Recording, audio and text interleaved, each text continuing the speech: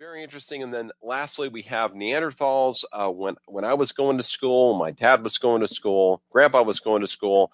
Neanderthals were held up as the brutish, half human, half ape type of creatures that were in between the ape line and the human line. And that's absolutely what we have debunked nowadays in the last 10 years. They found Neanderthal bones and burials that were ceremonially buried. They found instruments, weapons. Uh, they had families with what we would call Homo sapiens today, and they even found that they would dive in the ocean at certain depths to recover recover certain types of seashells for using as tools for meat harvesting. So Neanderthals were completely human. They've extracted the DNA from a toe bone from Neanderthals uh, which of course doesn't fit their timeline because their DNA should have been gone by now, but it's still there.